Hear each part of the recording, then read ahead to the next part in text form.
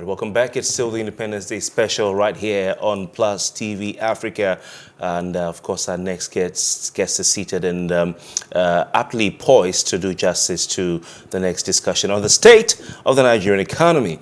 Um, Professor Ndubuisi, Ndubuisi rather, uh, Nwokoma is a director at the Center for Economic Policy. He is a director at the Center for Economic Policy Analysis and Research um, University of Lagos, Lagos, Nigeria, um, or should I say Akoka, uh, Nigeria. I hope I got it right. Prof, welcome to the program. Thank you. Um, you're looking immaculate. Uh, nice to have you this morning. I, I, would love to start on a very um, controversial note. Uh, I'd like you to describe the Nigerian economy as it is today, and please, if you kindly face your camera. Okay, okay. Yes, in one word, all right, in one word. And then uh, proceed to tell us, give us your thoughts on the performance of this administration as far as its um, macro and micro policies are concerned, um, based on your description of the economy in one word. Now, one of the things President Buhari said today in his speech, uh, Independence Day speech, which is his last before he goes back to his farm in Daura, like I said earlier, he said, quote, our efforts in resetting the economy manifested in exiting two economic recessions by the very practical and realistic monetary and fiscal measures to ensure effective public financial management. He also said, in addition, well, I will stop at that. So um, he seems to have given himself some plaudit for exiting two recessions, um, hence giving himself a pass mark. So those two questions you can answer. Well, um, if you want me to describe the Nigerian economy in one word, I would say presently it's crumbling. Yeah, uh, the, things are falling apart in so many respects. And um, I'm, an ex I'm an examiner, uh, I'm a professor of economics, and um, it is not the student who will tell you he did well in an exam. It is the examiner, the consumer, the people who say, look, our conditions are better in terms of uh, unemployment, in terms of inflation, whatever. So when you are the cook, you wait for the, the consumer of your food to tell you, oh, this is is tasty, the food is good. And like people say that the proof of the pudding is in the eating. So I, I think uh, to that extent, we can say that the people of Nigeria should be able to say, yes, uh, we had the president, he came into office, and my li our lives are better, or our lives are not better. I can now look at the indicators and I say, in this area or this area, look at the exchange rate, look at that, uh, that the economy is uh, doing well or not doing well. And let's take a look at, uh, if I may go forward, about how this, uh, the current government made the economy. And we can look at the statistics and look at the data and look at the, the excess crude account. What, how much was it and how much is it now? We can take a look at inflation it was single digit. Currently, it is uh, over 20%. These are more expensive. And uh, look at increase in income. The income level has not changed significantly. Take a look at the exchange rates. Take a look at the environment. Take a look at the recession that the country came out of. What led to that the country being able to exit the recessions? It was basically due to developments in the oil and gas sector. Because when you have the change in the price of oil globally, it affects uh, the level of income we, we, we get as a country. So uh, monetary policy and fiscal policy actually have made their contribution, but they are not the major reasons why the country came out of the recession that we uh, that, that, were reported in 2016 and 2020. 2020 because of the COVID-19. So um, if you look at the whole thing totally, and look at the level of money the country has been able to borrow. Uh, by the time we have, if we have time for all this we cannot go into them in details. I think the, the economy is uh, not doing very well, in my opinion. I think a lot still has to be done because, and that will explain why many young persons don't find hope in the country and they, they're looking for alternatives outside this, our shore. So there are many issues that can be looked into to know whether the, the economy is doing well or not, not just Yes, it's good. There are areas you can say that the country could have had some, some progress, maybe trying to focus on infrastructure and all that.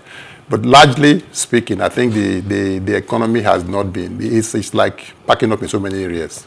Mm. Okay, but let's uh, talk about the fact that our economy is over dependent on a certain sector. And we know the economy is divided into several sectors. The primary sector, which oil is part of, we'll get, get to talk about agriculture. But let's talk about the over dependence on just, you know, the primary sector and oil and gas sector of our economy. Now, prior to now, we know that agriculture was the mainstay. In 1960, contributed, you know, about 60% or yeah. over 60% to the GDP. Now we're looking at 25%. How did we get here? yeah, basically the policy environment has naturally been positive. Take a look at uh, the government's uh, program, the Economic Recovery and Growth Plan, ERGP, which this uh, current government brought into uh, uh, uh, you know, brought up uh, to be able to run the economy. For all the indicators that the ERGP had, it fell below targets. All. The only targets that the ERGP met was the price of oil because it was underestimated. Because we did a study at, the, at our center on the performance of the ERGP in the first two years. We found that for all the indicators, all the sectors. When you say ERGP, what does that mean? Economic Recovery and Growth Plan okay. of the Buhari administration, okay. uh, which was a four-year medium-term plan which was meant to enhance the economy in three core areas, the macroeconomy and the issue of trying to get the economy diversified away from oil. That is the first plan. The, the, the second one is on investing the people, being able to give uh, money to those who are vulnerable and all that. The third one to make the economy competitive. These are the three core of, you know, key areas that the ERGP focused on. For all the projections of the ERGP, none of them met target, not one over the, the four-year period. And like I said, the only area in which the government did not think that the price of oil would go as high as it did. So uh, it underperformed. We've been able to get the economy diversified away from oil. Up till today, oil is still the mainstay of the economy. So not much has really changed. And if there's anything that happens to the global economy in the area of oil or oil price, the economy begins to pick up. Either it, the price goes up or if the price goes down, the economy begins to, to falter and begin to shake. So it is still dependent largely on the oil sector. And I think a lot has to be done. We need to talk about developing the non-oil sector. For now, we are just speaking. I've been an economist for many years, and I know in our various conferences, we're talking about the economy being diversified. It's been like a sing-song over the years. It's just like talk, but not much has happened. And this government has been able to talk more about it not much has manifested from the ERGP plan. But Professor Ndubisi, my question is, how did we, you know, contribute? I mean, did agriculture then contribute at 60% or over 60% to our GDP? And now we're struggling and grappling. Even though agriculture 25 is still the largest that you have in our economy now, looking at other, you know, sectors, 2%, 9 and thereabout, uh, you can't still compare with agriculture, but we're not where we should be. Yeah. And so what could be the issue? Yes, like I said, the issue is about policy and focus on oil. For example, when you talk about uh, getting the economy transformed, economic transformation globally, the third world countries move from commodities, agriculture, you move from there to industry, and then you move to services. When the, the GDP of the country was uh, rebased, you know, uh, under Jonathan, you discovered that more than 50% of our economy is on services. ICT, insurance, banking and finance, and so on. And then the middle, which is industry, agriculture, uh, manufacturing, was very thin. And because of the focus on oil, we get cheap money from oil, we've been able to abandon agriculture and manufacturing. And then we now transited, even the agriculture that we had that was as high as up to 50% of uh, you GDP contribution actually began to shrink. And in recent times, it's also been affected because we're now focusing a lot more on livestock. This year about headers and so on, which also affecting crop production. Agriculture has two major components in, in GDP computation. We have the crop and we have the livestock. Uh, the bulk of agricultural contribution is in crops. And for crops, you have cash crops, you have food crops. Now, if you, if you take a look at uh, livestock, the major component there is uh, poultry.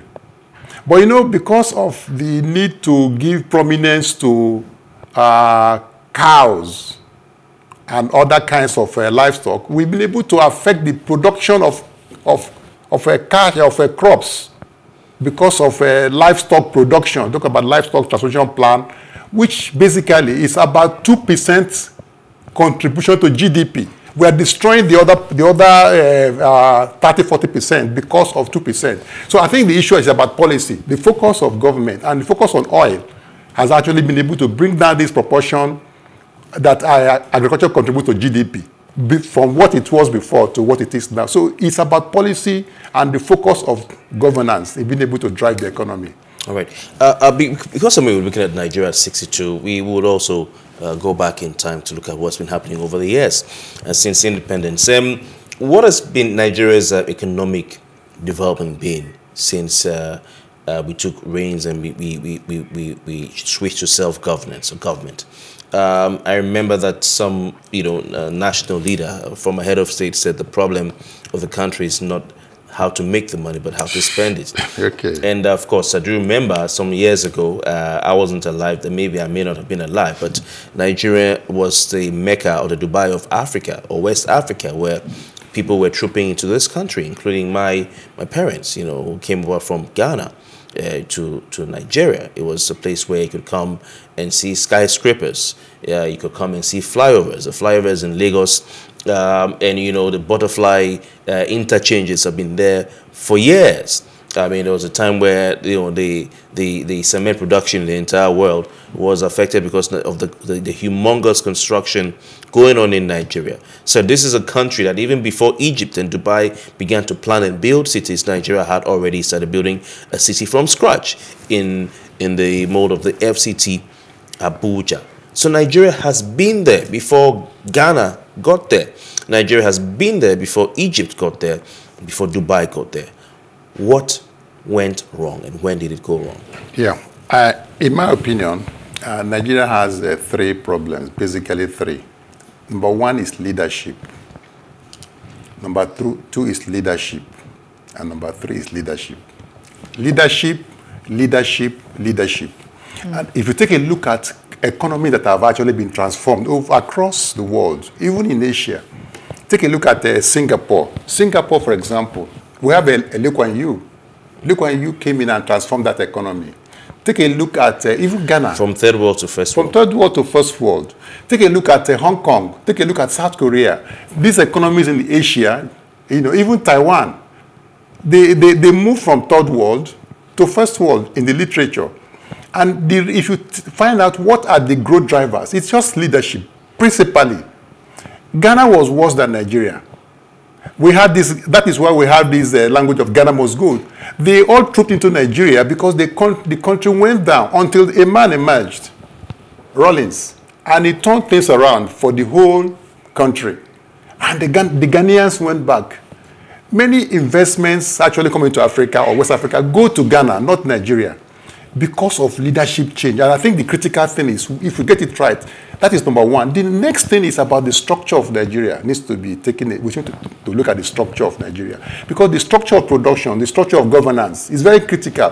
When all of us actually are going at the same pace, that is not how it was. Even in the First Republic, you know, the country was doing much better. I had the Western region going at their own pace with their own policy, you know, structure. We had the Eastern region, we had the North we need to look at the structure of Nigeria. We, are, we don't all put all of us, we talk about everybody being central, everything being centralized. It, it affects economic growth. We need to, to look at the structure and then make sure that we have the right leadership. It will turn around the economy. This economy is a great, this country is a great country with, with huge potentials. But because people who are being squeezed together, and then we don't have the right leadership, everybody comes in, want to, to uh, defend the, the interest of his own people and all kinds of their, it is compartmentalized and it affects economic growth. So I think the issue is the leadership is, is so important. Get it right and make sure that we have, have the right structure. I believe in restructuring.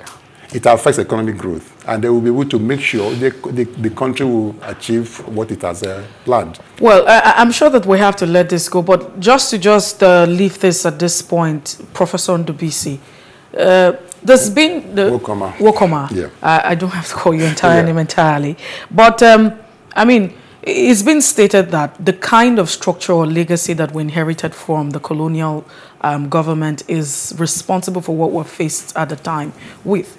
Because, you know, we inherited a system where, as much as we were good with exportation of raw materials, we're very dependent on, you know, the Western market for our commodities. So the discouragement of industrialization has continued. And we see that in the disguise of green environment and green policy and green economy. And Nigeria and other African countries are buying into this. When you ask yourself how much of the gas are you emitting into, you know, the globe at the end of the day, it's eh, not even up to 10%. Why are we even continuing in this line? But I'm sure that it will be another time to, you know, have uh, this thought. I, am sure you want to say something, just in a few seconds, Professor. Well, basically, um, we need to gain from our uh, natural resource. Uh, there's always a trade-off in any economic policy or any economic action. There's always a trade-off. You gain here, you lose there. So if actually we need to generate income, make sure we minimize oil theft if, because we are now, it's like double jeopardy. You have this uh, oil, you have the negative effects of oil production, you have the stealing, and the ordinary person is not benefiting. So if we're able to get as much as we can from our fossil fuels and also uh, take it, you know, bear the consequences, I think we can still do well, at least in the short term. All right. Thank you very much, uh, Professor Ndu BC Nwokoma, Director of the Africa Center for Policy Analysis and Research, University of Lagos, Akoka. Uh, we appreciate your time. Thank you very much. and happy uh, October 1. Thank you. All right. Congratulations. Yes, indeed. we'll be right back. We have more uh, ahead on uh, a special independence program right here on Plus TV Africa.